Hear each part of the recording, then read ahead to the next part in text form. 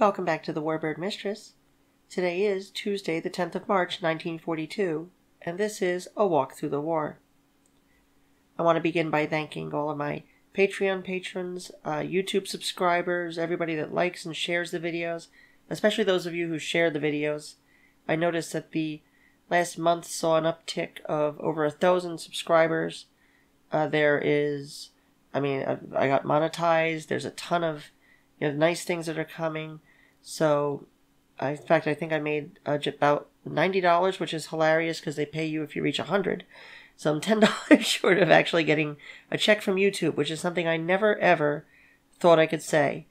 So, um, besides that, you know, a couple of new Patreon patrons, and there are a few donors. Uh, really, it does help tremendously with with getting the content out there, with you know paying for the cost of the website, subscriptions and uh, books, of course, books, books, books, and books.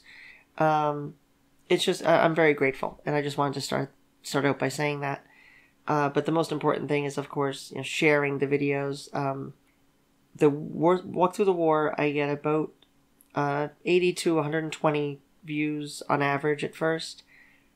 The longer videos have uh, I have to really work on those. I know because it's gone from having thousands of views to just a couple dozen a day, if that.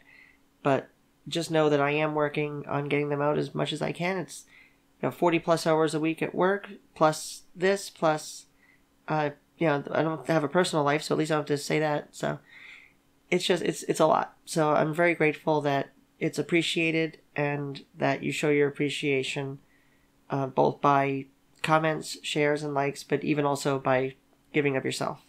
So Moving on.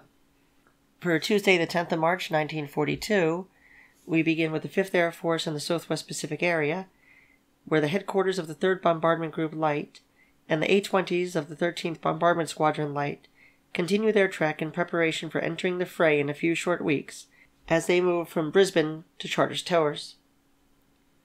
Arriving in Brisbane are the A-24 air echelons of the following 27th Bombardment Group Light units the 16th and 17th from Batchelor Field, and the 91st from Malang, Java. Moving to the 11th of March 1942, nothing happened. To make a quote from one of my favorite series, Remember When? Nothing happened. And that is indeed news. However, there is a reason for this. A quick review of Indian newspapers shows that the weather that week was not only unpredictable, but that it reached record highs, and to say that about the subcontinent and neighboring Burma is quite a feat.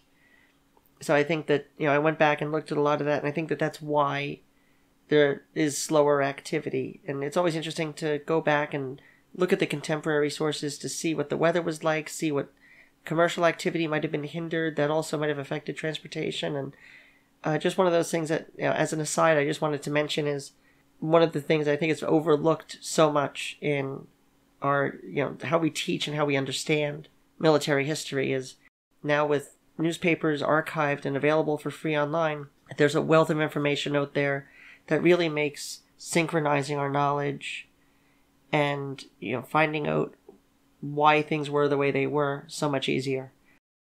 But let's leave 2021 and go back to Thursday, the 12th of March, where things are a little livelier still in the China Burma India Theater of Operations with the 10th Air Force.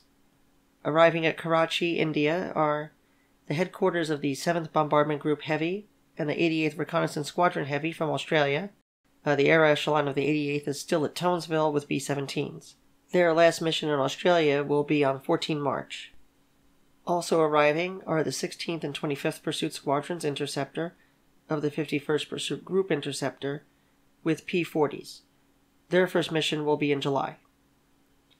Now, where the Republic of China and the Army Air Forces intersect, we see 10 P 40Es arrive in Karachi, India by ship from Australia. Many of these are diverted from Java. Most all of these will go to the AVG, although not all are accounted for in the Flying Tiger's inventory. So in Burma, where wearing your feet appears to be strictly prohibited, and as a bit of a side note, since I'm speaking more about the Americans who happen to be fighting for Chiang Kai shek in the Flying Tigers and not really in the U.S. Army Air Forces proper, the Japanese are changing their tactics as they strike against Magwe.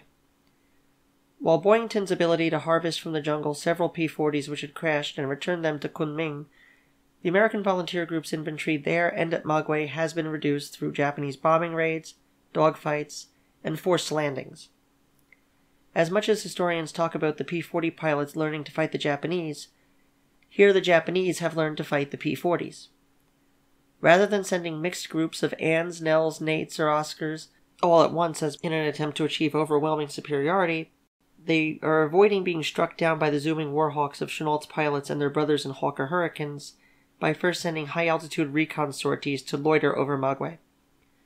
Without radar or acoustic detection equipment, Magwe's at a disadvantage, and the Japanese know when the AVG and the RAF are on the ground, and when they can best be struck by the waiting Japanese Army Air Forces.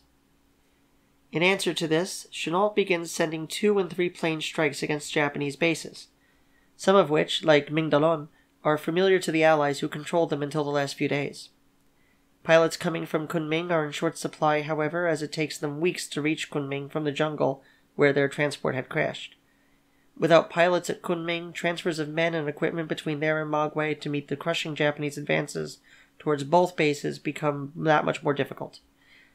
That they are responsible for the majority of victories despite this 14 to 1 disadvantage in fighter strength as well as a shortage of men, materiel, morale. It will one day be described in glowing terms by Air Vice Marshal D.F. Stevenson when he recalls the Burma campaign and the respect earned by the AVG by their Commonwealth and Empire colleagues and the troops on the ground facing the Japanese and Thai onslaught. In raw statistics, during the 10 weeks that the AVG had been at Rangoon prior to moving to Magwe, they numbered between 5 and 20 serviceable P 40s at any one time. In 31 encounters over Thailand and Burma, the AVG claimed 217 enemy planes and 43 probables, for the loss of four pilots killed in air combat and 16 P 40s destroyed, either on the air or on the ground. In the same 10 weeks, the RAF units flying with them destroyed 74 Japanese aircraft with another 33 probables, for the loss of 22 Buffaloes and Hurricanes. Many were piloted by experienced pilots who had seen combat before entering the Asian theater. In summation, the AVG had about a 13.5 to 1 kill to loss ratio compared to the Commonwealth's ratio of about 3 and a third to 1, neither counting probables.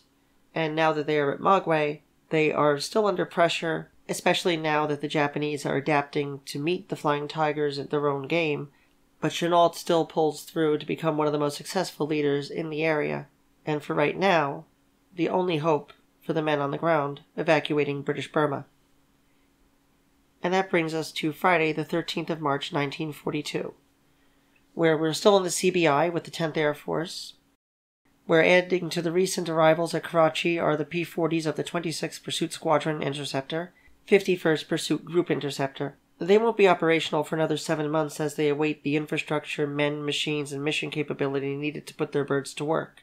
To the southeast in the 5th Air Force's Southwest Pacific area, the 36th Pursuit Squadron Interceptor, 8th Pursuit Group Interceptor, transfers from Brisbane to Lowood, Australia, with Bell P 39 Airacobras. And last but not least, across the Pacific and out to the Atlantic coast in the American Theater of Operations, Zone of the Interior's 3rd Air Force, the headquarters of 12 Bomber Command is activated at MacDill Field in Tampa, Florida. And I'm playing catch up again, but that brings us to the end of this episode. Thank you as always for tuning in. Be sure to subscribe and hit the bell for notifications because you won't want to miss another episode as we go through this walk through the war. Until then, this is Claire, and I am the Warbird Mistress. Take care.